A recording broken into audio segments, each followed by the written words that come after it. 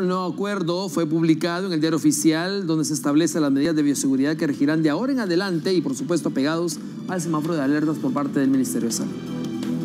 Como lo había dado a conocer el Ministerio de Salud, Francisco Coma, este jueves fueron publicadas en el diario oficial las nuevas normativas que forman parte de la desescalada de la pandemia por la COVID-19 a través del Acuerdo Ministerial 158-2022.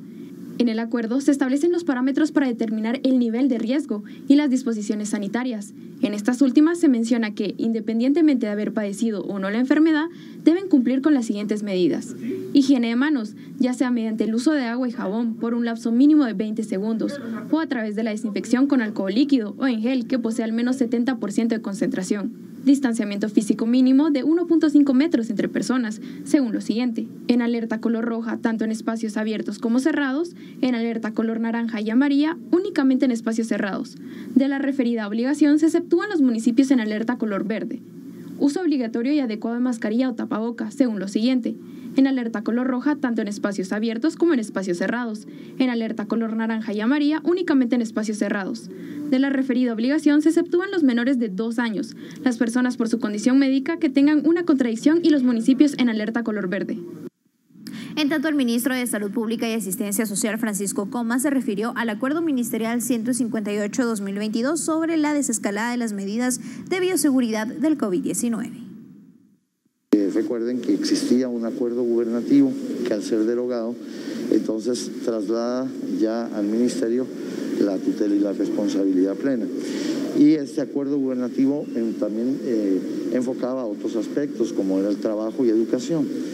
Eh, se tuvieron ya mesas técnicas con ambos eh, ministerios a efecto de que ellos trabajen en sus propios acuerdos, que es lo que procede, y objetivamente es el intento del regreso a la normalidad, teniendo siempre en cuenta, ¿verdad?, que esperamos no, pase, si hubiera un cambio o alguna variación significativa, pues tenemos de nuevo el mismo acuerdo que nos permite la escalada.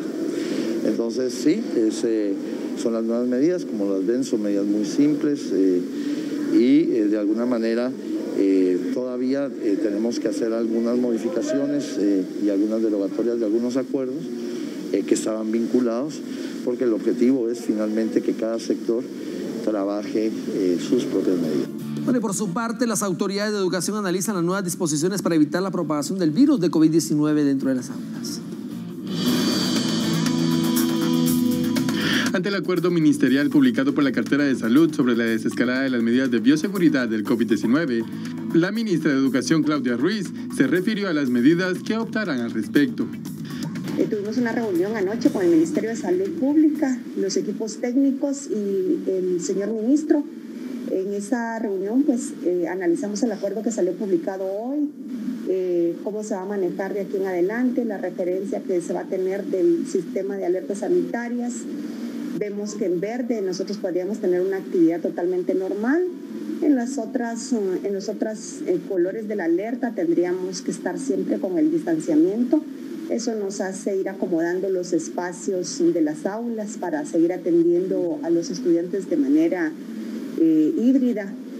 siempre vamos a, a cuidar todo lo que ya veníamos trabajando con el Ministerio de Salud a través del acuerdo ministerial que había específico para educación, que ese todavía no se ha derogado, está pendiente de derogar para que nosotros podamos ya publicar eh, nuestra, eh, el acuerdo ya con, nuestras propias medidas.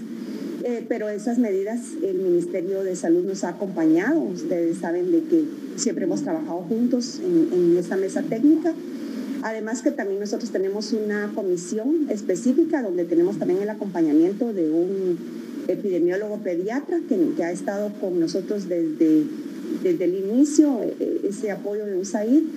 Entonces, eh, ahora nos corresponde hacer los ajustes a los protocolos, ¿verdad? Y ahí estamos un poco viendo el tema de los protocolos que eh, analizando que ya no deberían, deberíamos de estar en proceso de digamos, sí actualización, pero tal vez ya no estar eh, autorizando con salud cada cierto tiempo porque ya están acreditados por ellos y los ajustes son realmente mínimos y los protocolos han funcionado muy bien.